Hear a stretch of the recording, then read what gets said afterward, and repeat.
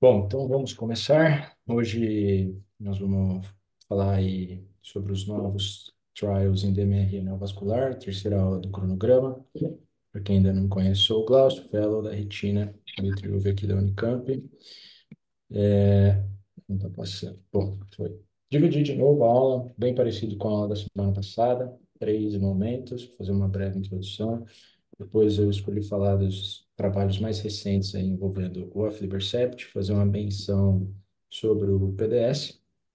Depois a gente fala sobre o faricimab e no final um slide resumo aí da rivalidade recente entre essas duas drogas. Então, na semana passada a gente comentou sobre a prevalência global estimada de DMR né, em 2040, de 288 milhões de pessoas, mas agora a gente está falando da outra fatia, né, de 10 a 15% dessas pessoas terão a forma neovascular, né, capaz aí de gerar tamanho estrago no fundo de olho, que cursa, então, né, com, como a principal causa de baixa de visão é, nesses pacientes, né, e com, a 85%, 90% das, dos casos de baixa de visão relacionados à doença. Então, o objetivo do tratamento, né, é evitar que o paciente tenha aí é, danos tão severos, podendo aí melhorar né, não só a espessura de, de, de retina central, como também a acuidade visual. Bom, é, no cronograma dos anos anteriores, né, tinha um tema semelhante a esse, onde meus colegas, no 2023 o Rafa, em 2022 o Ahmed, é, fizeram essa descrição linear e temporal do desenvolvimento da terapêutica, né, da DMR neovascular. E a intenção dessa aula não é, é abordar todas essas medicações novamente, é uma atualização. Então, quem estiver assistindo no YouTube e quiser pegar, né, esses dados aí evolutivo aí da, da, do tratamento, recomendo que volte nas aulas anteriores, tá? Eu peguei esse slide aqui porque eu queria fazer uma divisão, assim, tanto quanto o pessoal, de como eu vejo, né, os objetivos dos estudos, né? Então, até mais ou menos aqui 2005, né, a gente via que os trabalhos buscavam né, encontrar uma droga capaz de tratar a doença, né? Não necessariamente uma droga, mas uma intervenção, uma estratégia que pudesse tratar. Então, a pergunta, né, era com o que tratar. Depois desse período, até mais ou menos ali é, 2012, ali, a gente viu que os trabalhos buscavam não só, obviamente, houve uma busca por uma droga mais qualificada, talvez mais eficaz, né? Mas a pergunta era como tratar, né? porque de fato, né, não se tinha ali uma estratégia possológica, os intervalos que deveriam ser feitos. Então, foi aqui, nesse é, interim, que surgiu o esquema mais reativo PRN, o tratar estender, onde individualizava as coisas, e o mensal, que foram comparados aí nos trabalhos mais ou menos nesse intervalo de tempo.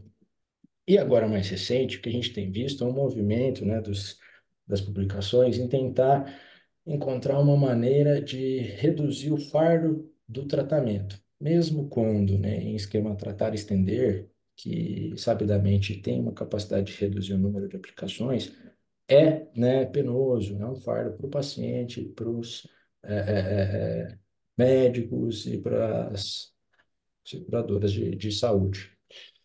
E eu escolhi, então, eu não, né, muita pretensão minha. E mais recentemente, então, os trabalhos têm é, é, é, utilizado essas duas drogas em destaque por ter alta eficácia, né, e, e uma capacidade, uma durabilidade muito grande, né, acompanhada de segurança. Então, são, a gente vai ver que as publicações mais recentes acabam tentando aí confirmar, né, qual é o melhor intervalo, maior intervalo que essas drogas podem ser aí administradas.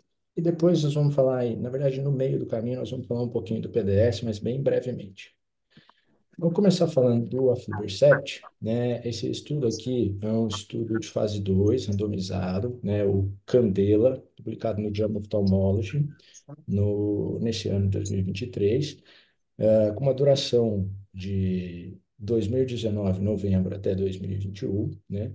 Os pacientes que foram selecionados tinham neovascularização secundária DMRI eram virgens de tratamento com acuidade visual entre 20 32 e 20, 320, né, tabelinha de Snellen, e foram divididos aí na proporção de 1 para 1, em dois braços, comparando, né, os pacientes que receberiam a dose de 8 miligramas e os que receberiam a dose de 2 miligramas. Fez um carregamento mensal, né, no dia 1, semana, é, semana 4, semana 8, e depois espa espaçou esses intervalos aí de 12 em 12 semanas, quando ele refez as injeções. Foram 106 olhos envolvidos. Os desfechos primários do trabalho, né, era avaliar a proporção de olhos que conseguiriam ficar sem fluido central, né, no subcampo central, é, ao ACT espectrodomain na semana 16, e depois, no final do estudo, na semana 44, bem como avaliar a segurança, né, comparando efeitos adversos do conhecido aflibercept 2mg com o, então, novidade, aflibercept 8mg. O que ele encontrou aí é que nos dois endpoints, né, 16 semanas e 44 semanas, houve aí uma superioridade é, em deixar o paciente sem fluido, né, chegando aí até quase 70% dos pacientes do grupo aflibercept 8mg sem fluido, enquanto no grupo 2mg 51%. Esse gráfico aqui mostra isso para a gente, né? A gente vê ali o primeiro endpoint com 16 semanas, uma superioridade bem importante do, do grupo aflibercept 8mg, né? E lá no final, essa proporção aí, essa superioridade se mantém, né? Durante todos os pontos de análise, a gente consegue perceber essa superioridade e isso teve um P relevante, né? Sobre a segurança, é, não houve diferença, né? Os efeitos eram numericamente até muito semelhantes, os efeitos adversos oculares.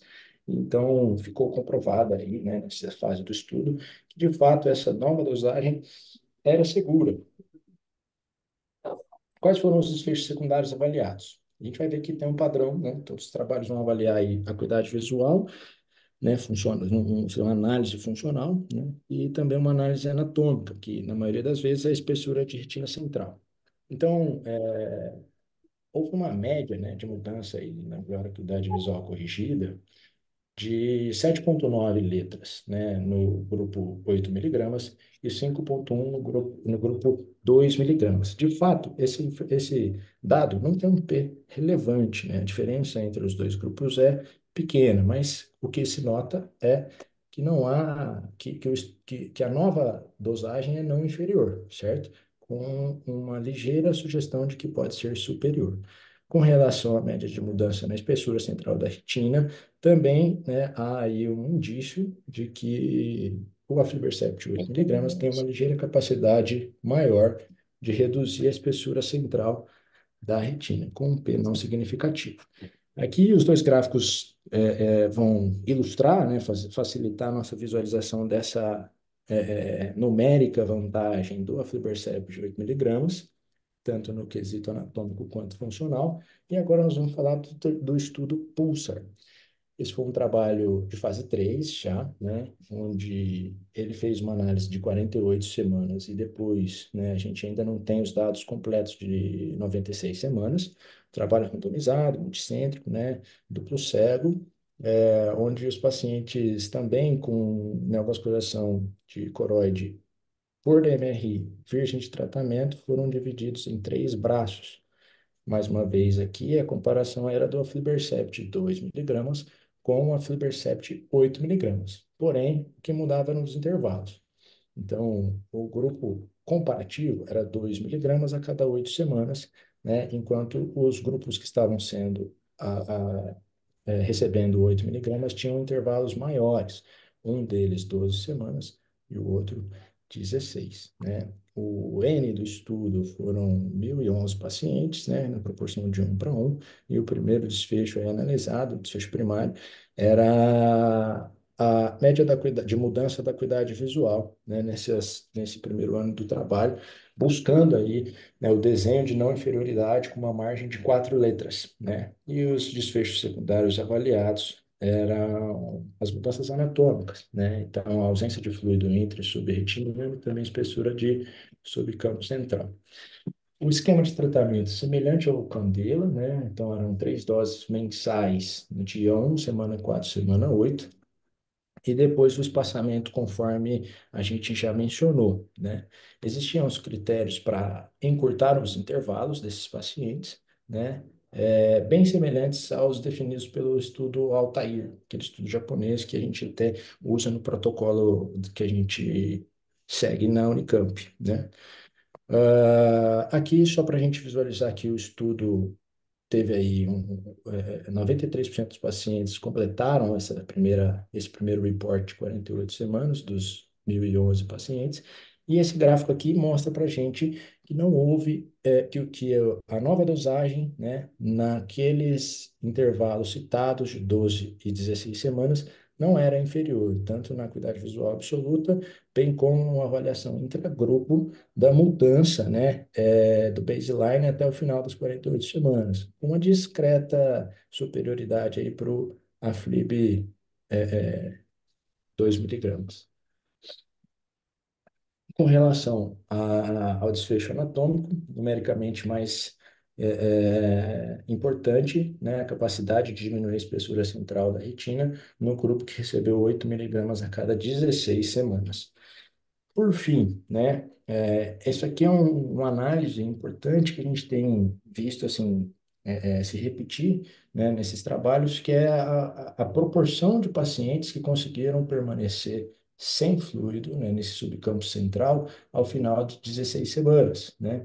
E todos os pacientes que receberam 8 miligramas, é, 63% é, conseguiram ficar sem nenhum fluido, né, nesse primeiro endpoint. No final do trabalho, né, uma outra, um outro padrão de análise que a gente vem vendo é que reforça aquela minha, aquele meu comentário. Tem alguém com o microfone ligado aí reforça aquele meu comentário de que a busca é por uma droga capaz de diminuir o fardo e aumentar esses intervalos de aplicação, né? Essa análise gráfica aqui, aonde a gente percebe que no final desse primeiro ano de trabalho, 79% dos pacientes conseguiram manter um intervalo de 12 semanas, né? É, 77 deles, é, e, perdão, e, e 83% deles, pelo menos 12 semanas, né? Somando 16 com 12, chegou aí a 83% dos pacientes com esse intervalo. Sobre efeitos adversos, não houveram nenhum caso de endoftalmite ou é, vasculite oclusiva de retina, como a gente sabe que aconteceu no, no trabalho do brolucizumab, né? Malk Harry.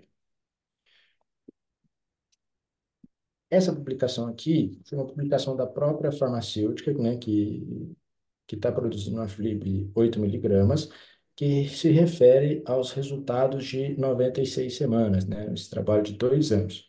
O que ela destaca é que de todos os pacientes, né, no final desses dois anos, que, que receberam 8 miligramas, né? 88% ficaram com intervalo no mínimo de 12 semanas, um número muito expressivo, ou seja, os intervalos de 8 semanas, só 12% né, não consegui, é, é, ficaram nesse intervalo de 8.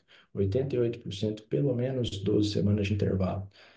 E aqui, eu queria destacar que é a primeira vez, primeira não, na verdade é a segunda vez que a gente vê intervalos maiores do que 16 semanas nesses trabalhos, né? É, eles comentam que 47% dos pacientes conseguiram 20 semanas de intervalo e 28% conseguiram 24 semanas de intervalo. E aqui eu queria destacar nessa tabela né, a quantidade de injeções que ele conseguiu é, é reduzir. Né? Então, no final de 96 semanas, os pacientes com 8 miligramas receberam 8 injeções e os pacientes que receberam o, o aflibercept 2 miligramas receberam quatro, praticamente 13 injeções. Então, uma redução de 5 injeções aí a menos, com mesma segurança, mesma eficácia e aparentemente com uma ligeira capacidade de, maior de diminuir a espessura é, central da retina.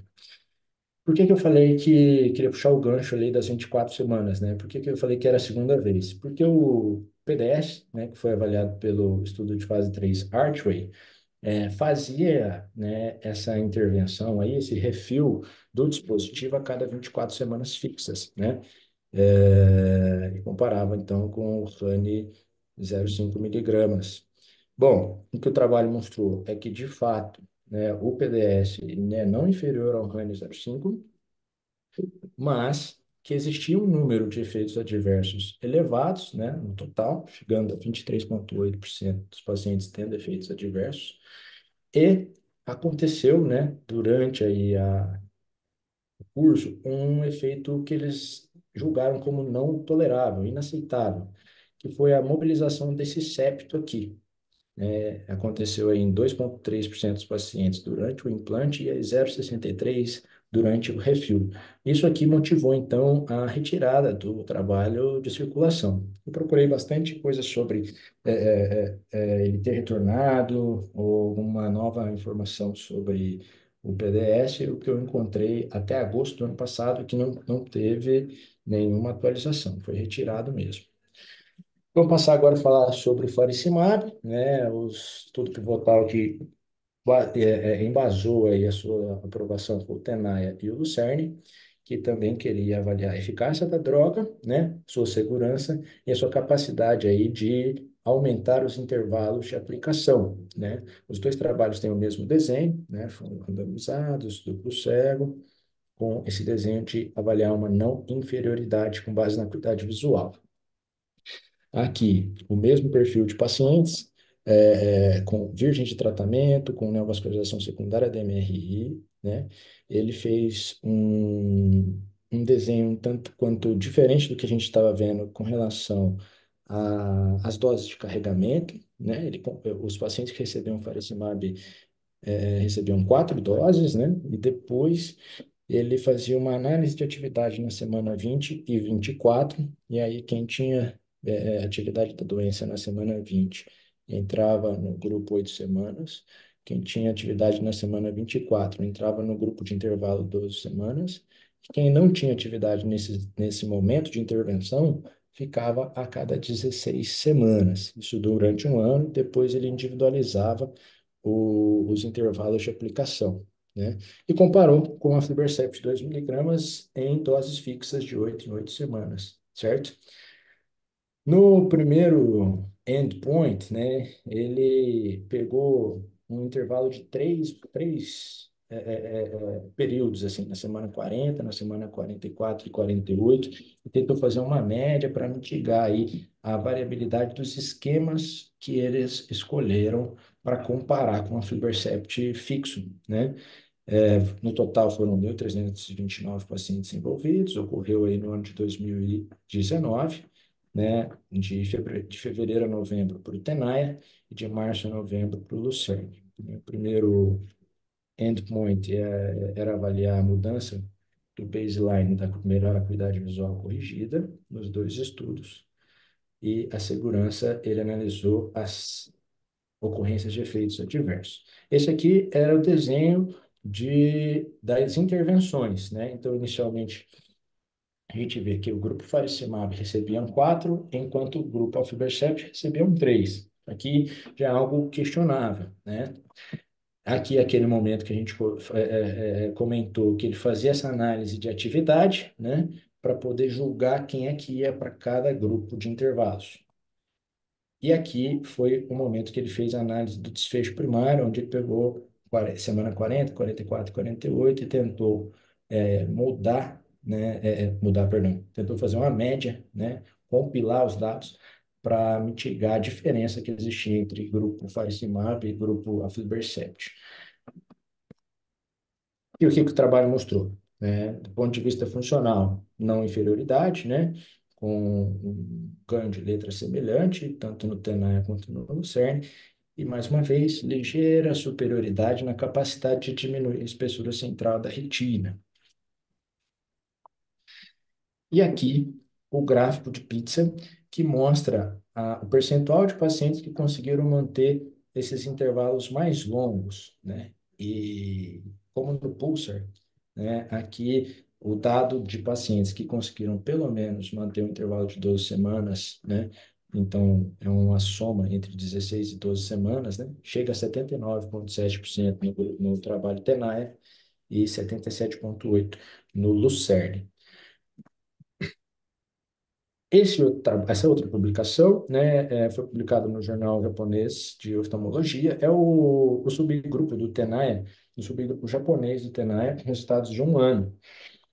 O que eles publicaram é um grupo menor, né, de 133 pacientes, mas eles publicaram que nos pacientes, então, asiáticos, orientais, é, foi identificado essa não inferioridade funcional, né, é, e anatômica, né, que é o gráfico comparando o, o, o subgrupo japonês com o trabalho global, né, mostrando que existe uma existia um ligeiro ganho de visão né, maior aí no grupo, subgrupo japonês, aqui em relação à capacidade de reduzir a espessura de, central, né, é, semelhante também, né, entre os dois, entre o trabalho global e o subgrupo japonês, e aqui o gráfico de pizza mostrando que os pacientes japoneses conseguiram, né, uma, um percentual ma maior, assim, até chamativo, né, é, é, é, de pacientes que mantiveram os intervalos mais longos, de pelo menos 12 semanas, chegando aí a quase 89% dos pacientes, né?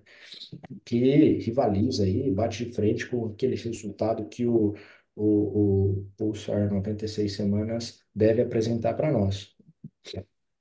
Era isso que eu tinha para falar, né? Esse é o slide resumo que eu agora estou pegando o, o, hábito de fazer. Então, saindo lá da DMR neovascular, né, de 2022 para frente, o que é que a gente tem, né? Então, os anti-VEGFs são aí a, a, droga padrão para tratamento. A rivalidade entre o aflibercept e faricimab, né? Agora, o aflibercept em uma dosagem mais alta. E os trabalhos aí que embasam é, essa nova estratégia, né? Ali uma setinha no cantinho só para a gente ver aquilo que, em geral, é de uso corrente. E o PDS, que nós ainda não temos uma atualização desde que ele foi retirado das prateleiras aí. Era isso, muito obrigado.